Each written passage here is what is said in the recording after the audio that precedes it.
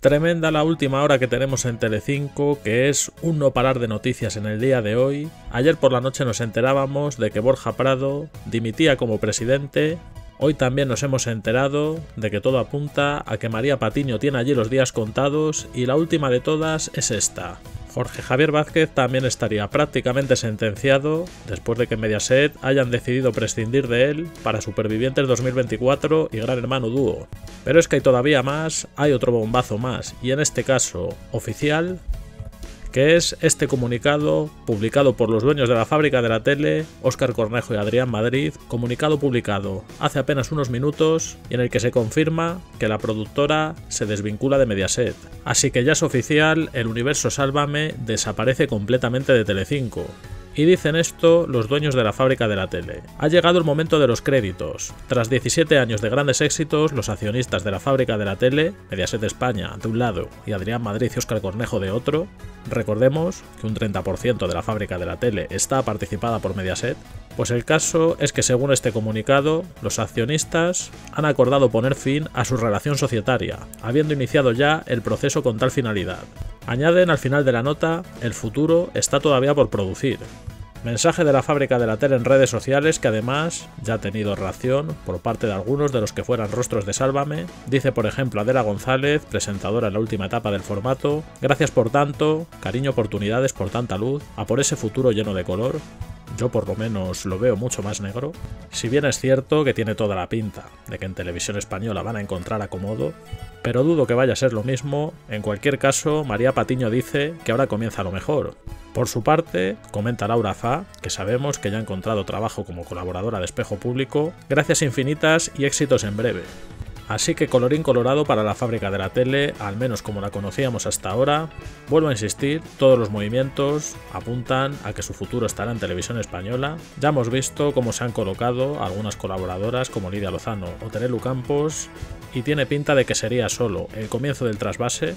No descartemos de hecho que la siguiente sea la propia María Patiño, de cuyo inminente despido en Telecinco ya hemos hablado en un vídeo anterior hemos comentado cuáles han sido las primeras reacciones de la presentadora, pero es que resulta que lo de Patiño también es un no parar, y tenemos también este último tuit que ha publicado que lo deja todavía más claro.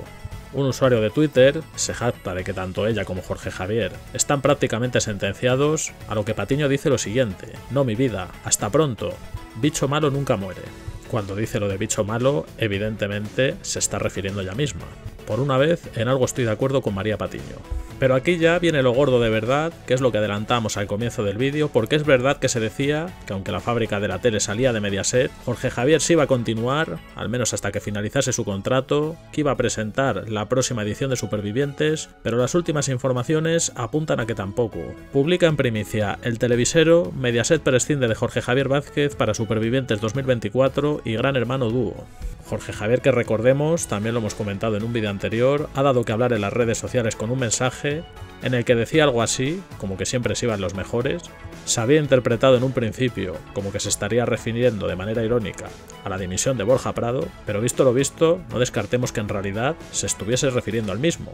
Cuenta el televisero en esta exclusiva que tras la cancelación de Sálvame en junio, todos los rostros emblemáticos del formato de la fábrica de la tele desaparecían de Telecinco. Tan solo María Patiño se ha mantenido en la cadena con Socialité, pero la presentadora dirá adiós a finales de año quien sí que reapareció, pero para volver a desaparecer, fue Jorge Javier Vázquez. Mediaset apostó por Jorge Javier para conducir cuentos chinos. Todo esto ya lo sabemos, fracaso tremendo, el programa apenas duró dos semanas. Y desde el 28 de septiembre que se emitió el último Cuentos Chinos, Jorge Javier Vázquez no ha vuelto a aparecer por Telecinco. Y aunque en los últimos días había rumores de que el presentador podría volver por todo lo alto en 2024, según revelaba Anabel Pantoja, parece que no será así. Según ha podido saber el televisero en exclusiva, Mediaset no cuenta con Jorge Javier Vázquez para ninguno de sus programas a corto plazo. Así, el catalán tampoco será uno de los encargados de conducir el regreso de Gran Hermano Dúo en enero, como ya sucediera con Gran Hermano VIP, cuando fue sustituido por Marta Flitch.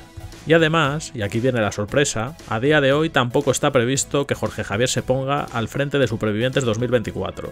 Cabe recordar que el reality de aventura comenzará una nueva etapa el próximo año con el cambio de productora de Bulldog TV a Cuarzo Producciones. Aprovechando este cambio, parece que Mediaset quiere romper también con la cara más visible de Supervivientes desde el año 2011 y apostar por otras caras para el espacio de supervivencia, que será una de las ofertas estelares de Telecinco para el próximo curso. Así que al igual que hemos dicho, en el caso de la fábrica de la tele, pues en el de Jorge Javier, también colorín colorado, y una vez se confirma que el presentador no cuenta los planes de Telecinco, pues la duda que surge es qué va a ocurrir con su situación contractual.